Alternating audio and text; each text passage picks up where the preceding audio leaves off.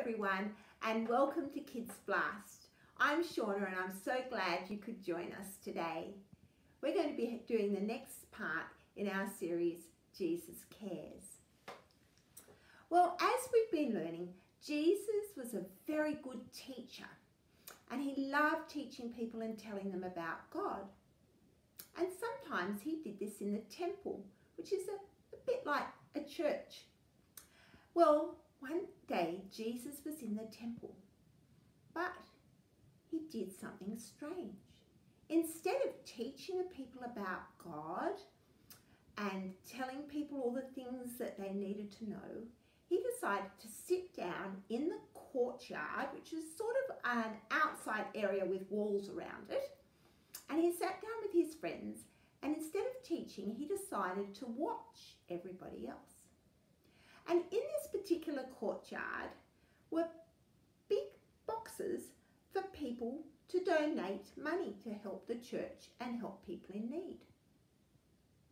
And these boxes were sort of metallic and they had like a metal funnel so you could hear the money dropping in as people dropped their money in.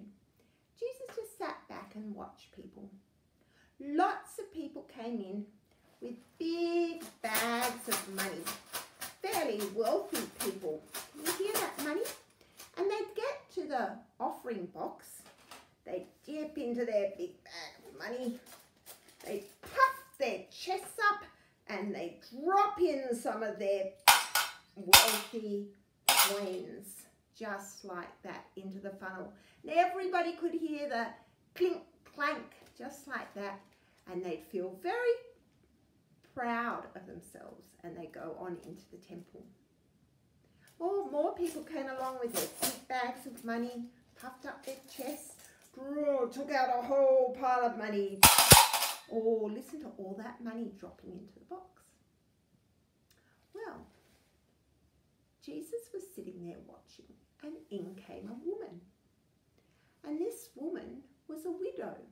That means her husband had died. And in these times, widows weren't allowed to work, so they didn't have very much money at all. Well, this widow went up to the offertory box and she didn't have a big bag of money. She rustled in her clothing and she pulled out this tiny little coin. Wasn't worth very much at all. And she dropped it into the mystery box. Didn't make a big cling clang like all those big coins. Then she rustled in her clothing again. And she found one more, her very last little coin. And she gave all she had into the offering box. And she walked away. Nobody paid any attention to her at all. Jesus called his friends over to him. They came to him and they thought, oh, Jesus probably wants to show us who's been giving so much money. And Jesus said to them, I tell you the truth. The widow woman has given more than anybody else. Well, Jesus' friends were very confused couldn't be right because they'd seen all those people with all those money bags and giving lots and lots of coins, lots of money. They thought, how could that woman be the biggest giver when so many more people had given so much more money? But Jesus said, it wasn't about the amount you gave. It was the way you gave it. And the woman had given it humbly. And she hadn't just given a little bit of what she'd had. She had given everything that she had because she loved God. And she knew that if she trusted him, he would provide for her. But the wealthy men had been proud and wanted to show off and boast about how much money they were given. And even though they gave lots of money, they still had lots left in their money bags for themselves. So it was sort of the opposite to what Jesus' friends thought. They thought the people with lots of money were the biggest givers, but Jesus said the widow woman that gave the two tiny coins was actually the biggest giver of all. So that's the same for us too. Jesus said it's our attitude that matters most, not how much we give. And that we give what we can because we love God and that we trust Him just like the widow did, that He will provide for us, care for us, and look after us. So instead of showing off and making a big thing about serving God, we can do it quietly like the widow and give Him everything we've got too. Now I've got some questions for you to discuss with your family. Question one. What was Jesus doing at the temple? Question two. What did Jesus say to his friends about the widow? Question three. Why do you think the widow gave so generously to God? Hello. Oh, hello, Lucy. How you going, Starter? Good, good to see you. What have you been up to? Well, I've just learnt a new game that I thought you might like to play. Ah, love games. That sounds like fun. And the guys at home can play along too. Great. What So- is it? So, it's called the opposite game. Okay. I say a word and you have to say something opposite to that word. Oh, I need to think. I hope you can all help me at home. All right, Lucy, let's start. Big. Oh, can you think what that might be? The opposite of big? Oh, little. Yes, that's right. Light. Oh, light. What do you think it is? Oh, I think you might be right. Dark?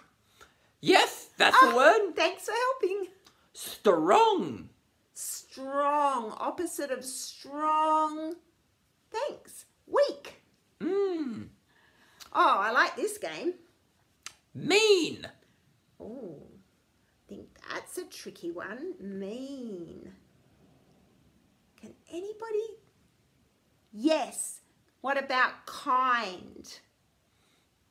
Kind. Yeah, that's a good one. Ah, thanks. This is a good game, Lucy. But you know, Yes. you know what? Wait, wait, I've got two more rounds. Two Come more on. rounds. Oh, wow. Okay, I'll try and do it a bit quicker this time. Yes. No. Yes. No. No, no, yeah, yes. Yes. Yes is correct. Oh, Well, no is correct. Oh, that was a bit of fun. Okay. And uh, oblique. Oh, that's a tricky one. Might need to think about that one, Lucy. Sounds like geometry to me. Well, yes, it's a it's, it's a geometry term, but it also means to express something not in a clear or direct way. Oh, yeah. Because I was going to say acute. Oh yeah, that will accept that. That works. All right. Well, that that's a great game. You could Mm. play that at home for a bit longer. But you know what? It did make me remember what we were reading in the Bible earlier. Really? About, well, Jesus said something that was the opposite to what everyone thought he was going to say. Whoa, what was that? Well, he was in the courtyard at the temple and he said that the woman that gave the just two little coins was the biggest giver. Why was that the biggest giver? I'm sure people gave more coins than that. Well, it sounds opposite, doesn't it? Mm. But it was because it was about the way she gave. She gave Ah. everything she had with a really kind heart. Oh, so she only have two little coins. She only had to. Oh, that's So impressive. It was everything she had, whereas those that gave lots of coins actually had lots left for themselves. It's hard to give something up when you've only got a little of it. Exactly. So it sort of seemed opposite, just like that game. It's like giving up the last Tim Tam. Exactly, Moosey. You'd find it hard to do that. Oh yeah, if I only had one. If I had a big box of them, I you could have one. Oh, well, yes. Maybe. well, Moosey, I'm just reading here in the Bible in 2 Corinthians chapter 9, verse 7. It says, each of you should give what you have decided in your heart to give, not reluctantly or under compulsion, for God loves a cheerful giver. Oh, so he also had a good attitude about it. Yeah, exactly. That's what matters to God. Our attitude, not how much we give. Ah, that's really cool, Shauna. It is. Well, we might play some more of that game later, Moosey, but I'd like to sing now. So let's go over to Sammy and Glenn and sing a song together. To Sammy and Glenn. Yay!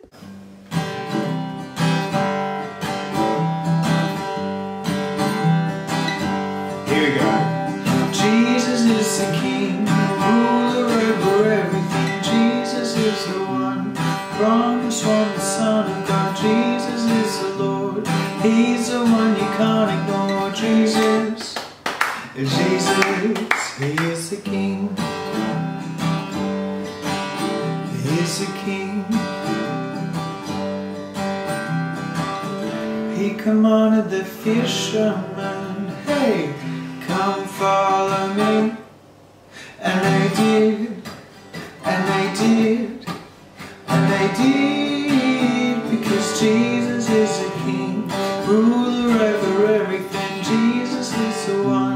one, from the Son of God. Jesus is the Lord, He's the one you can't ignore. Jesus. Jesus, He is the King. He is the King.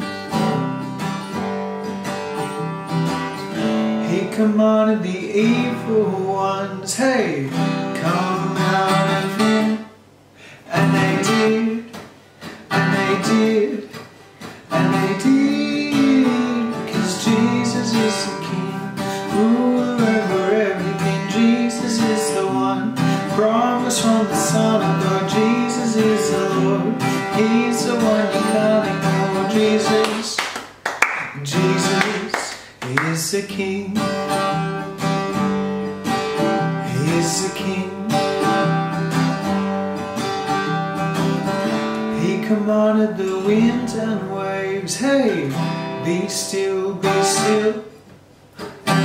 they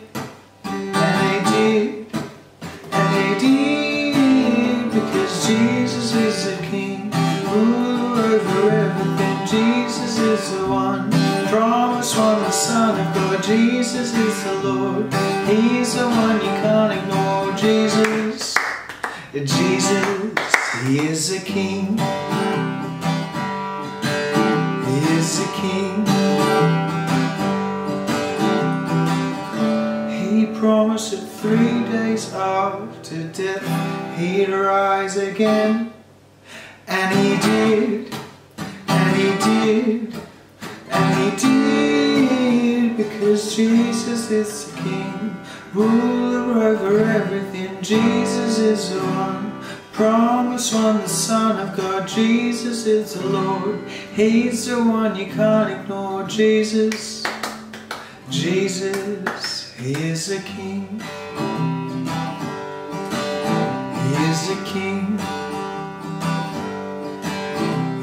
Hello this week. Today's craft, we are going to be making our own money holder where we can collect money to give to the church or to a charity.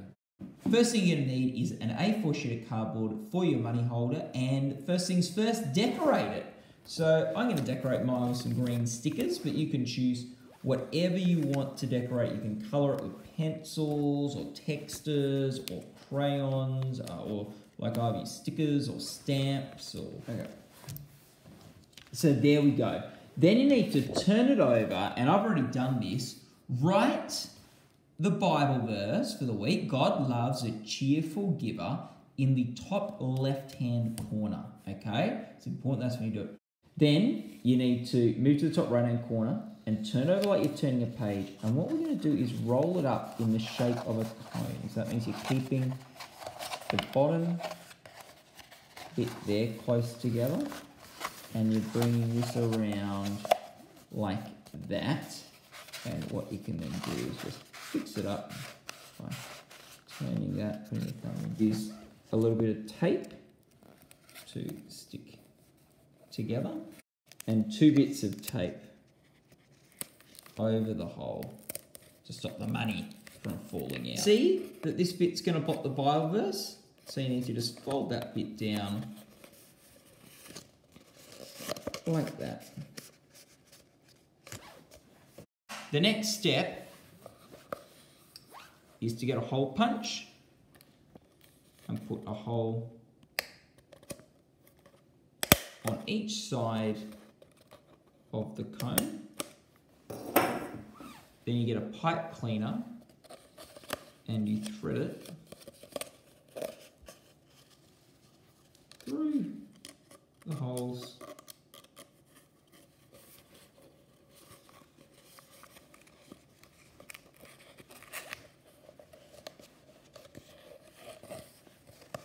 And oh,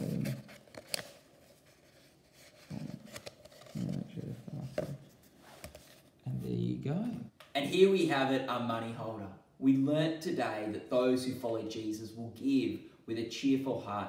So let's use these to put some money in when we get our pocket money or whatever. Uh, and we can then, when we've filled it up, give it either into the church or to a charity that is doing great things around Australia or the world. Thank you so much for joining me today, everyone. We're nearly at the end of our time together, so before we say goodbye, let's pray to God. I'll read the prayer and you can join me by saying Amen at the end. Let's close our eyes. Dear God, thank you that you love us and care and provide for us. Thank you that, like the widow, we can trust you to look after us. Help us to be like her and give cheerfully and humbly, and to help others in our church and in places where people need your help. Amen.